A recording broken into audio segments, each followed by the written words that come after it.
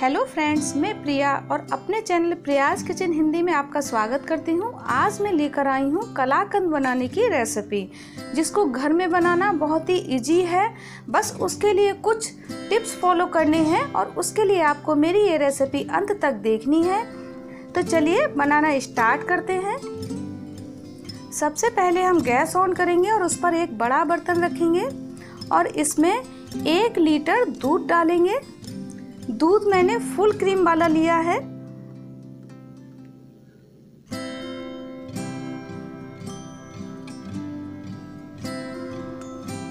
और इसको बॉईल होने देंगे।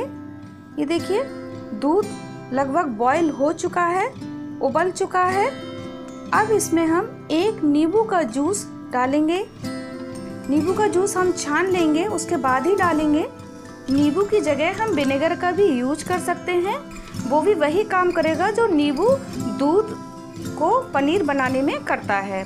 अब आप देख सकते हैं कि जो नींबू डालने से जो दूध है, वो फट चुका है, यानी कि जो दूध का पानी है वो अलग हो चुका है और उसका पनीर अलग हो गया है, जिसको हम छेना भी बोलते हैं। छेना को हमें बिल्कुल दूध से अलग करना है। इसके लिए हमें दो तीन मिनट तक इसको मीडियम आँच पर पकाना है ताकि बिल्कुल दूध जो पानी बन जाएगा और छेना जो है वो बिल्कुल अलग हो जाएगा।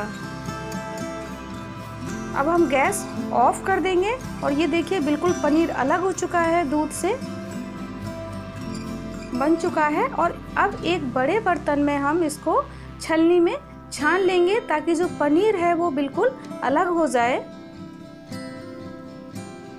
देखिए और इसको हल्के हाथ से स्पून से इस तरीके से दबाएँगे। हमें बहुत ही हल्के हाथ से इसको दबाना है, ताकि जो पनीर में जो हमारे दाने बनते हैं, वो बिल्कुल टूटे नहीं, बिखरे नहीं। और हल्के हाथ से दबाते हुए इसका जो पानी है, बिल्कुल निचोड़ लेना है और इसको रख देंगे, ताकि पानी बिल्कुल अलग हो जाए। अब हम गैस ऑन करके कढ़ाई रखेंगे और इसमें एक लीटर दूध डालेंगे। फ्रेंड्स, मैंने इस रेसिपी को बनाने के लिए दो लीटर दूध का यूज़ किया है। एक लीटर दूध से मैंने छेना बनाया है, यानी कि पनीर बनाया है, और एक लीटर दूध को मैं इस तरीके से बॉईल करते हुए धीरे धीरे इसकी जो क्वांटिटी है, वो कम हो जाएगी। इसको हमें बीच बीच में चलाते रहना है, नहीं तो दूध है वो नीचे लग जाएगा और जल जाएगा। जलने से हमारी जो मिठाई हम बनाने जा रहे हैं, उसका स्वाद बिल्कुल भी अच्छा नहीं आएगा।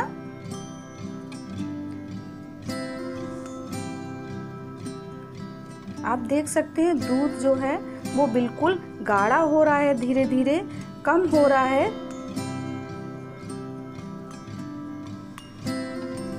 इसके किनारों से हमें छुड़ाते हुए इसकी क्रीम को हमें दूध पकाना है। और ये देखिए, पानी बिल्कुल अलग हो चुका है।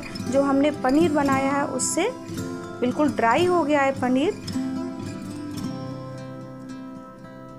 अब इसको जब इतनी मात्रा दूध की रह जाए तो जो हमने पनीर बना के रखा है, उसको हम इसमें दूध में मिक्स करेंगे। हमें इसको तोड़ना नहीं है, क्योंकि अगर हम इसको तोड़ देंगे, ज़्यादा मिक्स कर देंगे तो जो दाने जो बनते हैं कलाकंद में जो खाने में बहुत ही टेस्टी लगते हैं, वो बिल्कुल मैस हो जाएँगे। इसलिए हमें इसको हल्के हाथ से मिक्स करते हुए दूध में मिक्स करना है।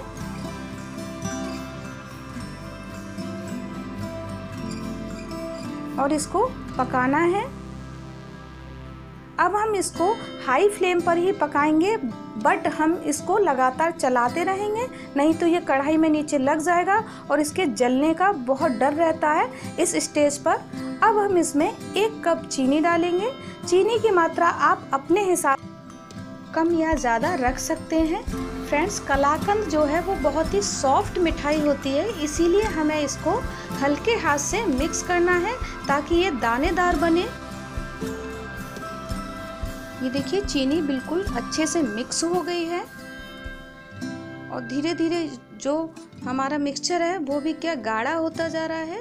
फ्रेंड्स आप भी मेरी इस रेसिपी को फॉलो करते हुए कलाकंद घर में बनाइए और अपना एक्सपीरियंस मेरे साथ कमेंट करके शेयर कीजिए। और अगर आपने मेरा चैनल अभी तक सब्सक्राइब नहीं किया है तो प्लीज़ प्लीज़ सब्सक्राइब कीजिए ताकि मैं अपनी न्यू न्यू रेसिपीज़ आपके साथ शेयर करती रहूँ। और ये देखिए, जो पनीर है वो अच्छे से दूध में मिक्स हो गया है और चीनी भी बिल्कुल इसमें डिजोल्व हो गई है। और ये गाढ़ा हो गया है। और बहुत ही दानेदार बिल्कुल बना है। जैसा कि हमको कलाकंद बनाने के लिए चाहिए। कलाकंद जो है बहुत ही सॉफ्ट मिठाई होती है। जिसके लिए दानेदार मिक्सचर होना बहुत ज़रूरी है और जो हमारा मिक्सचर बनाया है, कलाकंद बनाने के लिए, वो बहुत ही दानेदार बना है। आप देख सकते हैं।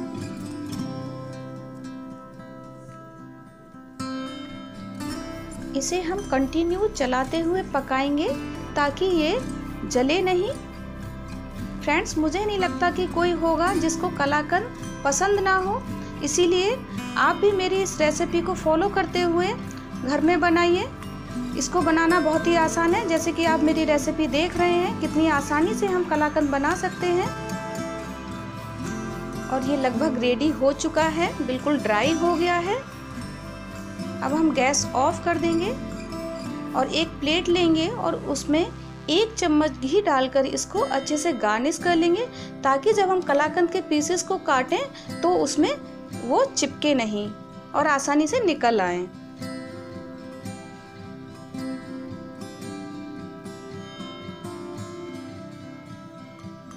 अब इसमें हम जो कलाकंद का मिक्सचर हमने रेडी किया है, वो इसमें डाल लेंगे।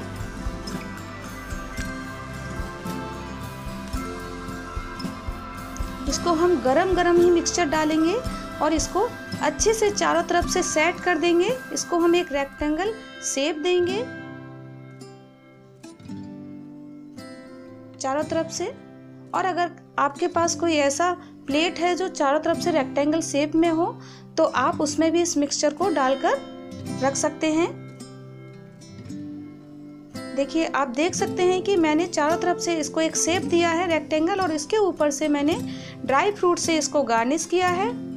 इसमें मैंने काजू, बादाम और पिस्ता बारीक काट कर इसको गार्निश किया है। इससे ड्राई फ्रूट से इसका टेस्ट और भी बढ़ जाता है। ये देखने में तो स्वादिष्ट लगता ही है, खाने में भी उतना ही स्वादिष्ट लगता है। और इसको हल्के हाथ से प्रेस कर देंगे ताकि ड्राई फ्रूट्स हैं वो सेट हो जाएँ अच्छे से।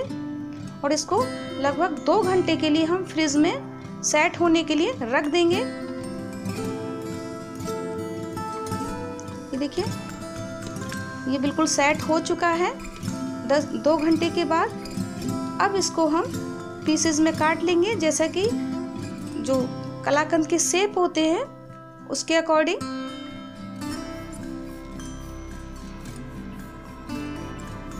कलाकंद हमारा बहुत ही अच्छा बनकर आया है। आप देख सकते हैं, ये अच्छे से जम गया है और इसके पीसेस बहुत ही आसानी से कट रहे हैं।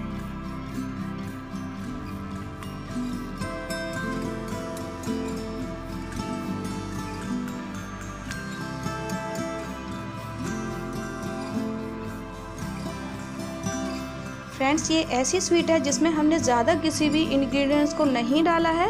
इसीलिए ये बिल्कुल प्योर है। आप इसको व्रत में भी खा सकते हैं और ये देखिए, बिल्कुल दानेदार कलाकंद बना है और बहुत ही सॉफ्ट बना है और बहुत जल्दी ये रेसिपी बन के रेडी हो गई है। इसीलिए आप भी बनाइए और इन्जॉय कीजिए और प्लीज़ मेरा चैनल सब्सक्राइब कीजिए। Thank you